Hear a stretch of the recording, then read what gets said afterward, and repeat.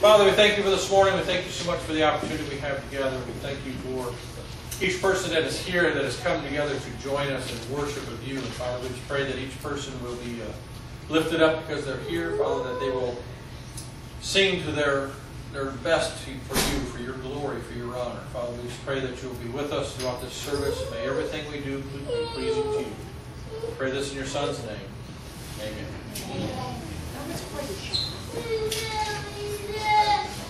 Morning. Morning.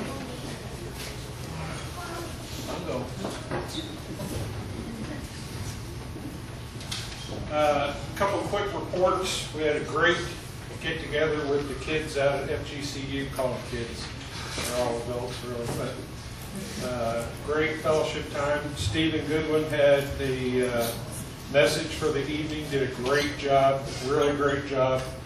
Never seen that crowd as quiet as they were when he challenged them to uh, uh, contemplate something. So he he really made a big impact, did a great job. So uh, remember him in your prayers as he uh, he's looking for support, and he's also, you know, working to be an intern, and this is what he wants to do. He wants to work with college kids because he sees a great need there.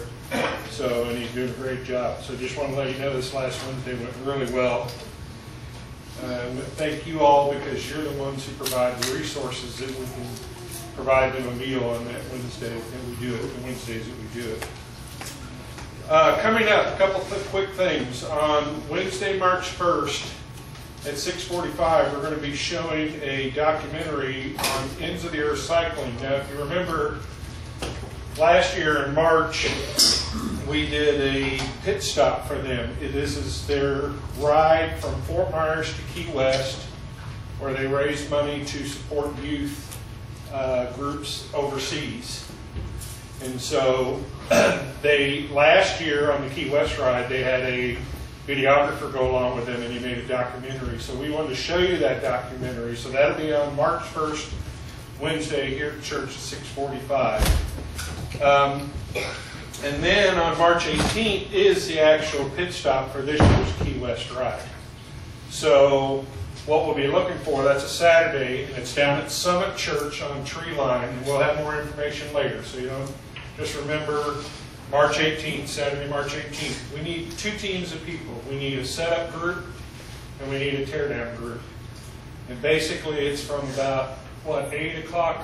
Eight. A setup team needs to serve from 8 to 11 in the morning, and the teardown team needs to serve from 10:30 to approximately 1:30. We have to stay till the last group comes through, so which is usually around noon or so, 12:30. So. Um, the last thing I want to tell you is Bible Challenge that we've been doing, which is where you fill out the little card of all the Bible books you read that month. That, pro- that program will be ending at the end of March. So get your things and get it turned in so we can get some more money towards Bible sticks, military Bible sticks for this next time. So thank you all very much.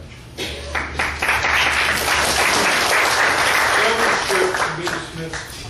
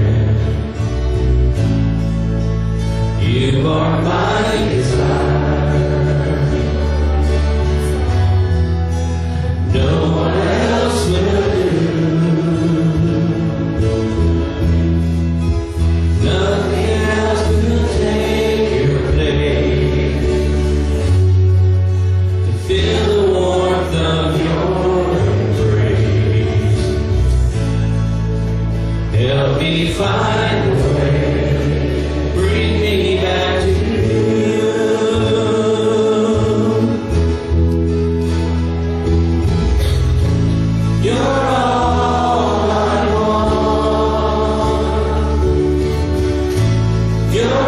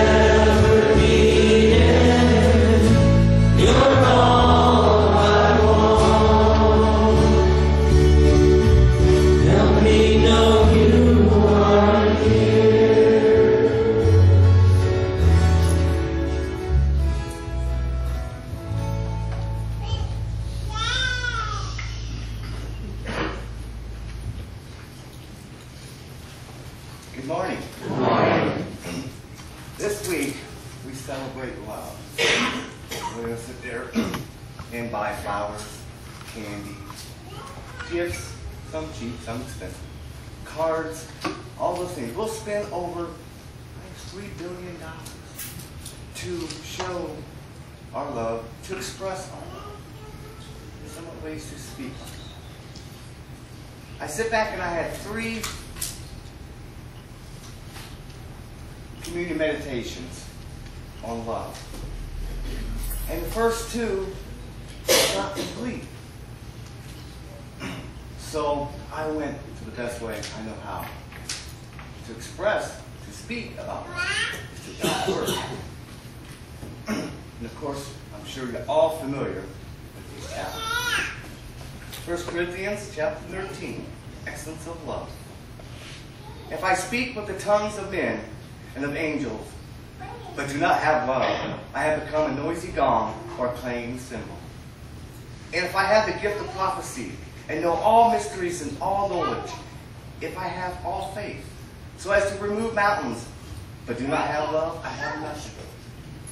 And if I give all my possessions to feed the poor, if I deliver my body to be burned, but do not have love, it profits me nothing. Love is patient, love is kind, and is not jealous. Love does not brag, and is not arrogant. Does not act unbecomingly, does not seek its own. It does not provoke, does not do, does not take into account wrong suffering. Does not rejoice in unrighteousness, but rejoices in truth. Bears all things, believes all things, hopes all things, endures all things. Love never fails, but if there are gifts of prophecy, they will be done away. If there are tongues, they will cease. If there is knowledge, it will be done away. For we know in part, and we prophesy in part. But when the perfect comes, the partial will be done away. When we were a child, used to speak as a child, think as a child, reason as a child.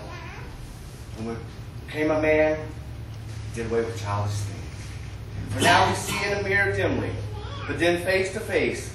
Now I know in part, but then I shall know fully, just as I've fully been known. But now abide faith, hope, love. These three, but the greatest of these is love. And furthermore, one more. 1 John chapter 4, verse 7. Beloved, let us love one another. For love is from God, and everyone who loves is born of God and knows God. And one who does not love does not know God, for God is love. By this love of God was manifested in us, that God has sent his only begotten Son into the world that we might live through him. In this is love, not that we love God, but that he loved us and sent his Son to be the redemption of our sins. Beloved, if God so loved us, we also ought to love one another. No one has beheld God at any time. If we love one another, God abides in us, and his love is perfected in us. By this we know we are that we abide in him and he in us, because he has given us of his Spirit. And we have beheld and bear witness that the Father has sent the Son to be the Savior of the world. Whoever confesses that Jesus is the Son of God and abides in him, and he in God. And we have come to know and have believed the love which God has for us. God is love, and the one who abides in love abides in God, and God abides in him. By this love is perfected with, this, with us, that we may have confidence in the day of judgment, because as, as he, so are we in this world. There is no fear in love, but perfect love casts out fear, because fear involves punishment, and the one who fears is not perfected in love. We love because he loved us. If someone says, I love God and hates his brother, he is a liar. For the one who does not love his brother whom he has seen cannot love God whom he has not seen. And this commandment we have from him, that the one who loves God should love his brother also. This morning, we come to the table, 2,000 years ago, God stretched out the hands of his son because he loved us. So as we come to this table this morning, let's open our hearts and our minds and our souls and say, I love you. I love you. I love you. God's only sacrificial lamb, the Son of God. is love. as Thank you.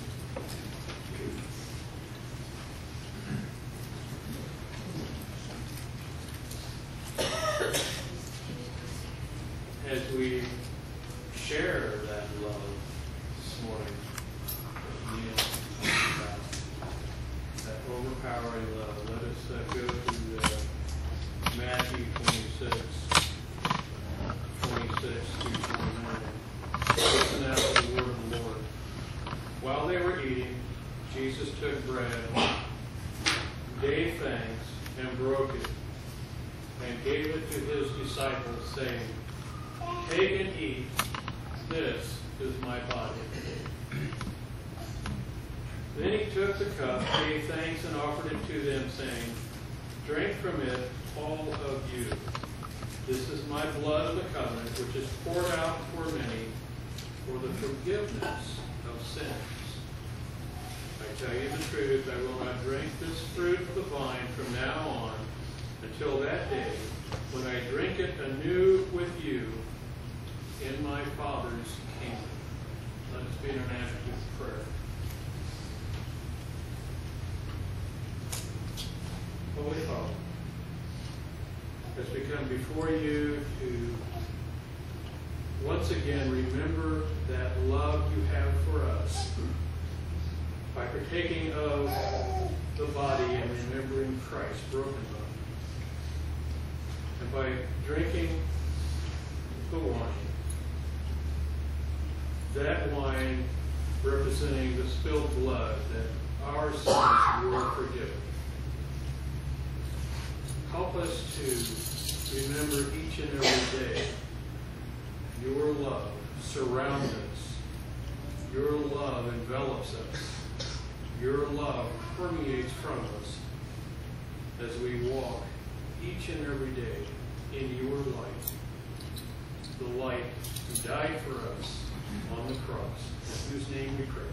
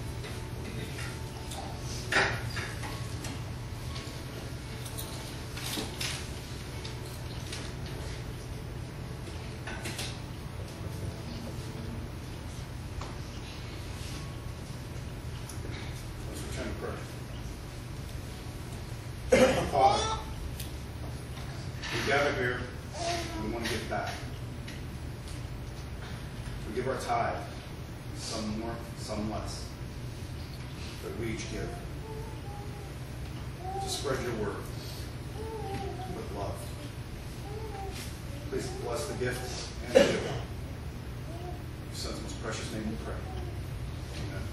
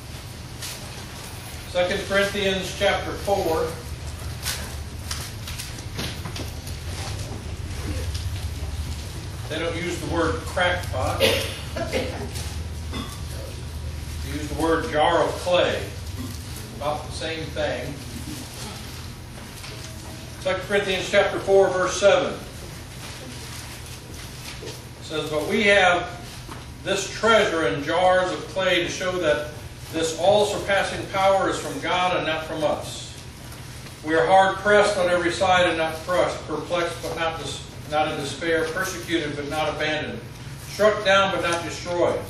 We always carry around in our body the death of Jesus so that the life of Jesus may also be revealed in our body. For we who are alive are always being given over to death for Jesus' sake, so that his life may be revealed in our mortal body. So, our scripture today is talking about these clay vessels. And these clay vessels are things made. If you read in scripture elsewhere, you see that he's the potter and we are the clay. That God molds and makes us every day.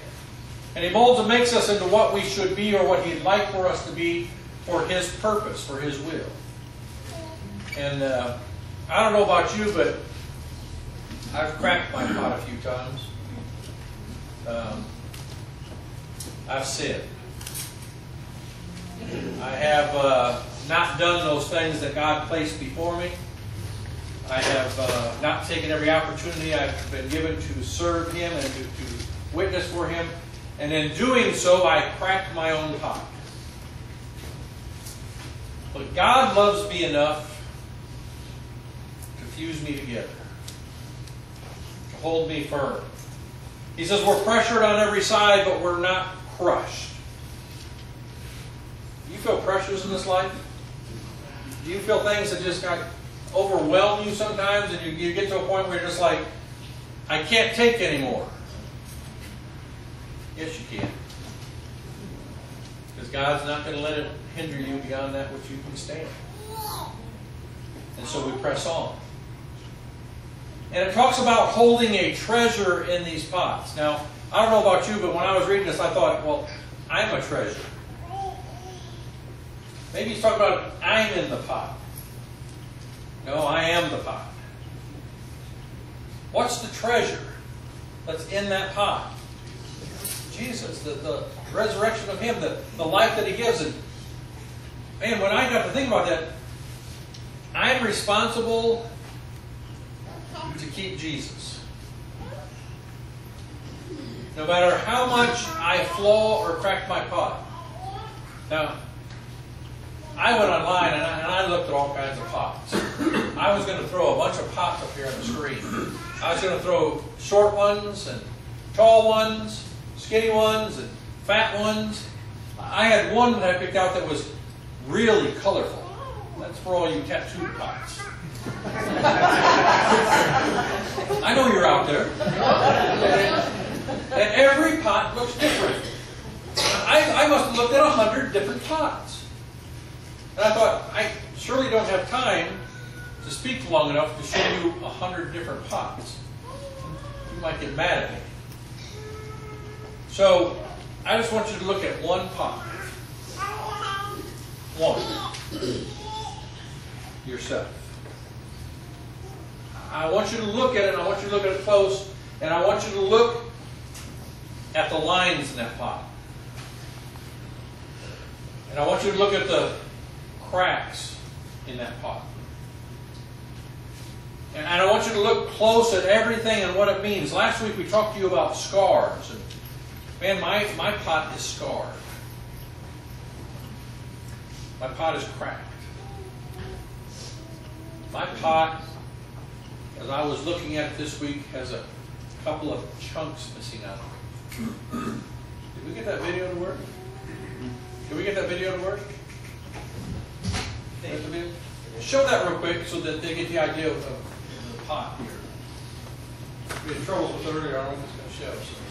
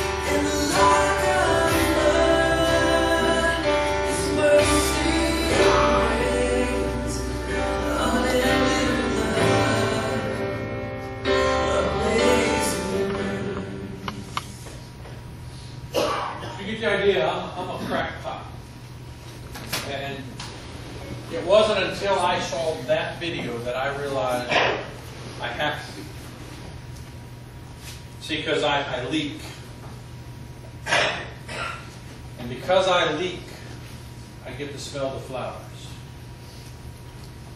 And as I looked at that and put that together, and I was reading this scripture here and stuff like that, I, I, I figured it all out. I leaped along the path of the Lord Church. I, I leaped upon you. And along that path, you're the flowers.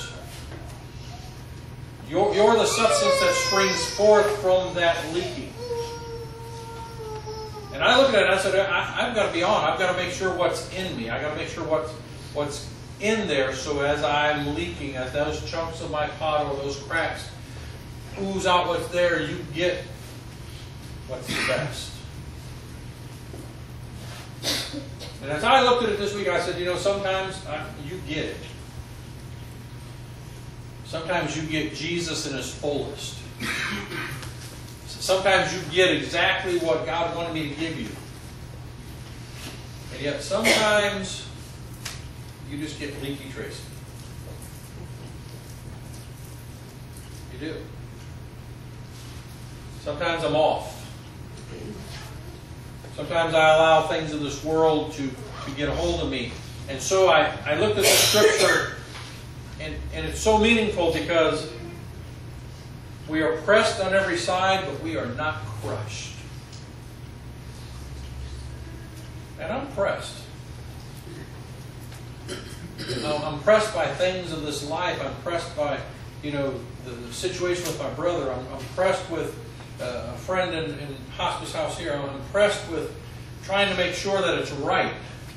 I'm pressed because I got three young kids that look at me and, and watch what I do. I'm pressed because I, I own a business where people work for me and do stuff and, and they watch and they see what I do. And I've got to be on. I've got to give them what's right. And sometimes I feel like, boy, it's wrong, but I'm not crushed. I'm perplexed a lot of times. But I'm not in despair. I'm persecuted sometimes, but I'm not abandoned. I'm struck down, but I'm never destroyed. And do you know why I'm not? It's because of the thing at the beginning, the treasure that is within me, that is not the power of me, nor is it by me, but it's God Himself. Because of God, my pot will never be totally full. Because of God, I will stand firm. Because of God, I can ooze or drip those, those waters on you, and, and you bloom into flowers for Christ because of Him and me. And it's not because of me. And why did He why did He choose me, this crackpot, this this in this life worthless thing? If I had a crackpot like that on my front porch holding flowers, I'd probably throw it away and get a new one.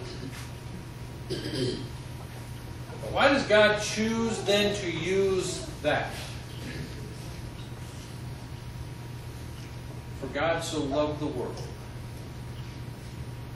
For God so loved Tracy that he gave his only begotten Son. For God so loved me that he filled me with the treasure of his Son, that I might have the hope of eternity with him. Gang, I don't always do it right. Still in Corinthians, in the first book of Corinthians, chapter 13, and, and thank Neil for alluding to it and taking part of my sermon up. That's all right. You're a crackpot. You were just leaking, right? 1 Corinthians 13, verse 1. If I speak in tongues of men and of angels, but have not love, I am only a resounding gong or a clanging cymbal. What he's saying here is if I am a crackpot filled with the world, I'm worthless. But because I'm a crackpot filled with God, I am worthy. If I have the gift of prophecy and can fathom all mysteries of knowledge, and if I have faith that can move mountains, but I have not love, I am nothing. If I give all I possess to the poor and surrender my body to the flames, but have not love, I gain nothing. Love is patient, love is kind, it does not envy, it does not boast, it is not proud. It is not rude, it is not self-seeking, it is not easily angered, it keeps no record of wrongs. Love, love does not delight in evils, but rejoices with the truth. It always protects, always trusts, always hopes, always perseveres. Verse 8, love never fails. Man, putting those together, feel, realizing that I'm this pot that's cracked and scarred and, and everything was sin, and yet I can hold that treasure. I can hold that love in me that, that makes a difference in this world. Yep. I'm going to tell you by the world standards, I'm, I'm worthless. I'm useless. I'm just passing through this life. But I'm not on the world standards. I'm on God's standards. And because of God, my pot is beautiful. Because of God, my pot is worthy to hold the treasure of His Son and to share that truth and that treasure with all that I come in contact with. You see, I realized something this week. I have to be cracked and I have to have chunks missing. Or I might be like some other Christians and just fill my pot and hold it all to myself. Scripture talks about us overflowing, giving to people from our overflow. And some of us never get to that point of overflowing. We- But we can flow from the cracks and the crevices and the scars and the, and the chunks that are missing out of us and still make a difference in this life. I was telling the Sunday school about some people that, I mean, I have some friends in ministry that, that won't go to a pulpit unless it's 500 people or more. And I said, what, what is that all about? Why do you make sure there's a crowd worth listening to my message? So, in other words, what they're saying, what they said to me was, you're all not worth it. We don't have 500 here this morning. But when I read the scriptures, I read that where there's two or more gathered. Is there more than two of us that believe in God here this morning? Three of us. Okay, three. So, so he's here. Always, always when you ask those questions, you got to sweat and make sure. But how many of you are a cracked pot? How many of you leak? How many of you are leaking treasure of life? And I know this life is tough. I know that this life has many dips and pitfalls and other things like that. But through this, putting this message together, through reading this, I realized something. It doesn't kill us. Satan attacks and he presses, puts pressures on us, and he, he'll throw anything our way. What do you bet? When you least expect it? Yeah. It, it might be a kid, it might be a cat up a tree. But he's gonna, he's gonna, he's gonna put it on us. And it's how we handle it. It's what we let into our pot. See, if my pot is full of God and His wonders and His mercies, if my pot is full of this amazing grace that they sung about, if my pot is full of that, and it, it may leak, it may ooze, it may. leak, But if I continually put in and keep it full, those things of this life will not crush me. They will not defeat me. They will not break me from my resolve to be His and His alone. I, I mean, I'm telling you this morning, I stand here before you as your minister, a sinner.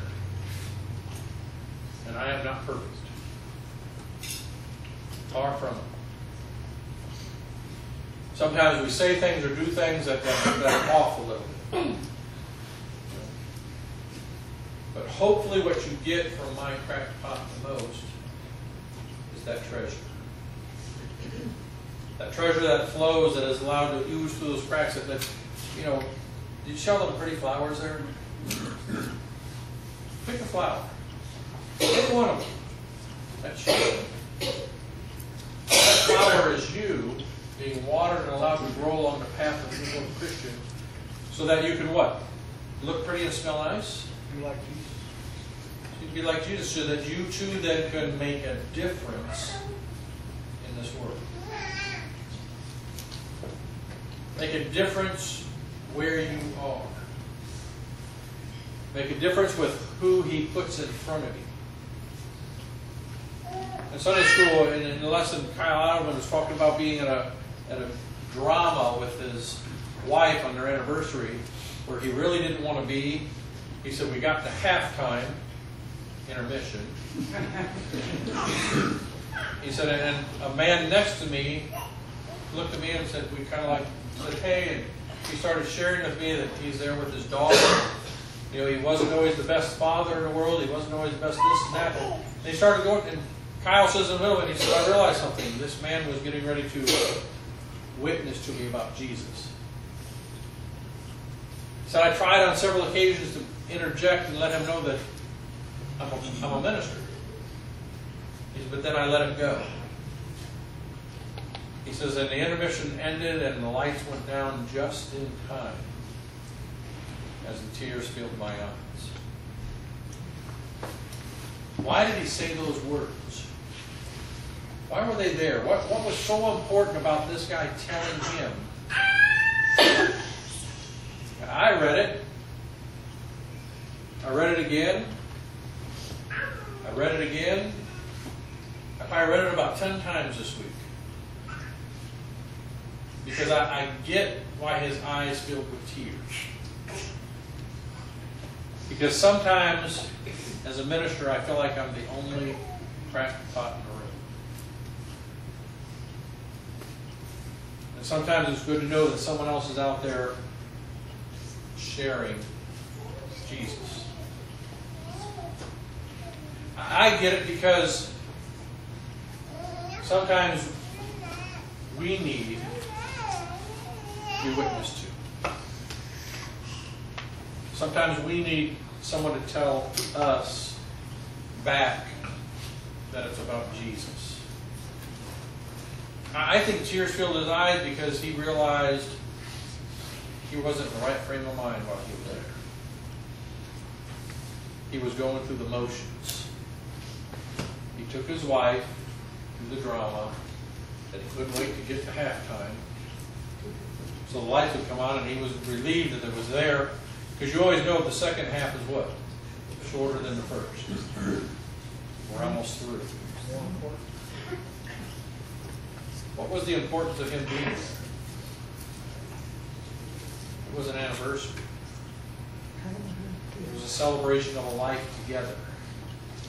It was a culmination of years, and he shared with the man that he had three daughters of himself at home. And Maybe he reflected back and said, yeah, I haven't always been the greatest father either.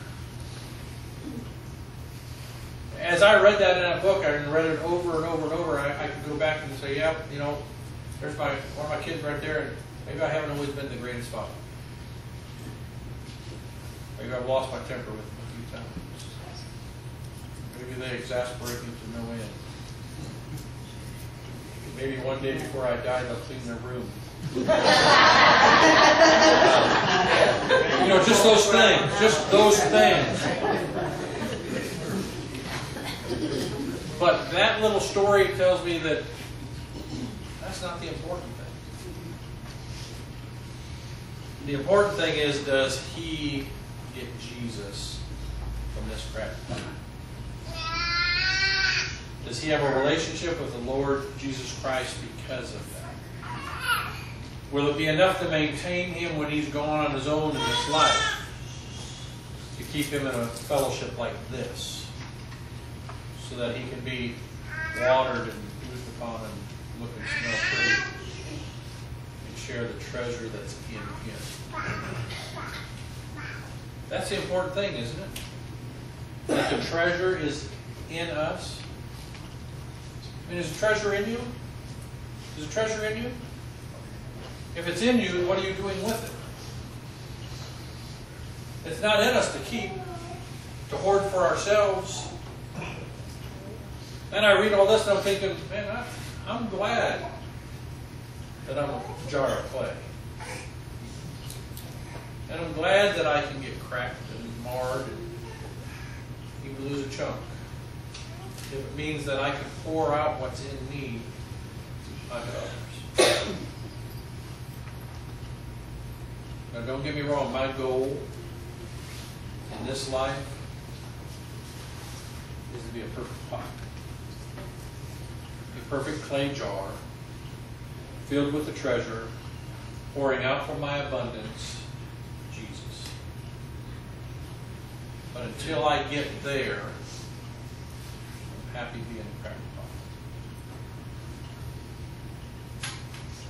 Did you look at yourself?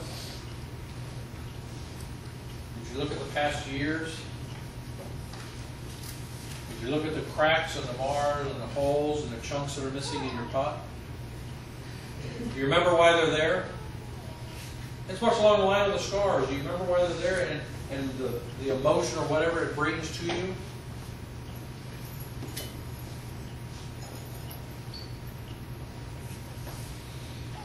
What do you then do with that? As God daily molds you and makes you into what He wants you to be, what then do you do with that? See, it's about life. And life is about the moment. And from the moment we're born until the moment we die, every second, every minute, every hour, every day, every month, every year, every decade, every moment in between, God's trying to teach us something. To love as He loved. And how did He love? Perfectly. completely. Completely enough that it, He sent His Son. That whosoever believes in Him would not perish but have everlasting life. For God didn't send His Son into the world to condemn us, but that the world through Him might be saved. Gang, I have a treasure. I hold within me the keys to eternity. And not just for myself, but for you. And that key is Jesus Christ. There's no way to the Father but through Him. So this morning I have to ask you, how's your pot? How's the cracks and mars and, and splinters and whatever's in it? How does it feel? How full is your pot? You see, because I'm finding out through the study of this and going through everything, and no matter how cracked I am, no matter how marred I am, I can always have a full pot. I can keep it filled with Him, with the things that I do, and the things that I read, and the things that I take in, to keep it full so that as I lose, you get what's right. I'm not perfect at it. Sometimes I let other things into my pot and then I'll lose out. Sometimes you're going to see them, but I, I've got to work on that. And I wonder about you this morning, sitting here. Maybe you're a cracked pot that has never been filled with Jesus. Maybe you've never made the choice of Him and filling yourself with Him. And maybe this morning you need to get out what's in there and let Him in. Maybe you need to turn over all the things in this life that are crushing you and pressing you down and allow Jesus to take them on. To accept Him as your Lord and Savior, to have Him and Him alone, the one that escorts you and gets you to from here to eternity. Or maybe there's some of you sitting here this morning, you've already given your life and you've been filling your pot a little bit with, with Christ, but the world gets in the way and things all happen and Maybe this morning you need to make a choice to fill your pot with Jesus. To take that clay, earthen vessel and make it different because of Him. There's enough useless pots running around out in this world without us joining them.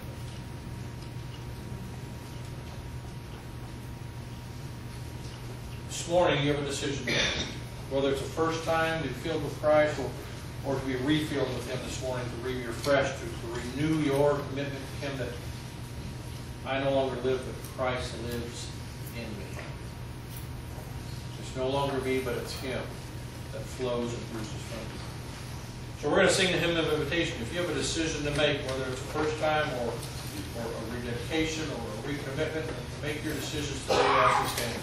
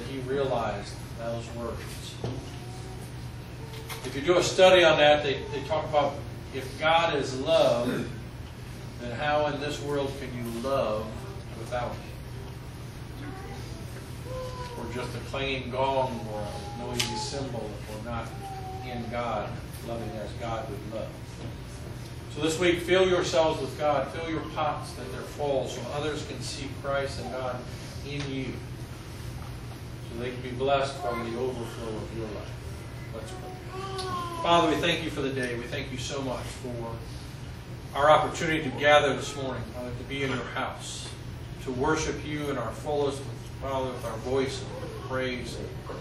Father, through the communing of, with you at your Lord's table, where we uh, come and sit at your feet and get strengthened with you. Father, this week just guide us as we depart. Give us uh, someone in our path that we can share you with, Father, that they can be watered from our pots. Father, just watch over us and bless us. We pray this in your Son's name. Amen.